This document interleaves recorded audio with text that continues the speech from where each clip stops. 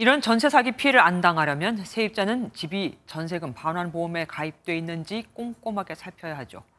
그런데 정부가 갭 투자로 한 사람이 수백 채 집을 사는 상황을 막으려고 반환 보험에 들수 있는 전세금 한도를 낮추면서 엉뚱한 데서 문제가 벌어지고 있습니다. 낮아진 전세금 일부를 기존 세입자들에게 돌려줘야 하는데 집주인들 당장 이 돈을 어디서 구하죠? 계속해서 배준우 기자가 보도합니다.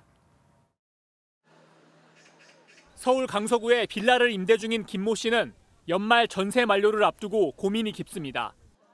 2년 전 임차인과 3억 5천만 원의 전세 계약을 했는데 전세금 반환 보험을 갱신하려면 전세금을 크게 낮춰야 하기 때문입니다.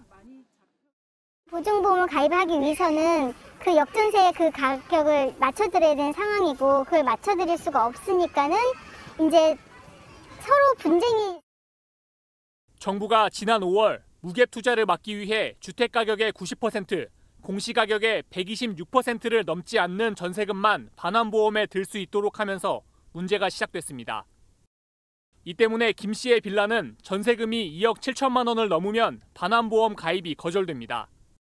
결국 3억 5천만 원짜리 전세를 2억 7천만 원으로 내려야 전세 재계약이 가능해진 겁니다. 문제는 가진 현금도 없고 은행 대출도 쉽지 않아 1억 원 가까운 차액을 세입자에게 돌려줄 길이 막막하다는 점입니다. 특히 빌라는 전세금 반환 보험이 안 되면 세입자들이 기피하기 때문에 빌라 전세 거래는 뚝 끊겼습니다. 매매 가격과 그다음에 전세 가격이 동시에 상승하는 쪽으로 연착 요구를 하게 된다면 그것을 기반으로 해서 일부 규제를 완화하는 것을 어, 생각해 볼 수 있습니다. 2년 전 높은 전세가로 맺었던 계약들의 만기가 속속 돌아오고 있어 빌라 전세 시장의 혼란은 더 심해질 전망입니다. MBN 뉴스 배준우입니다. 안녕하세요. 김주하입니다.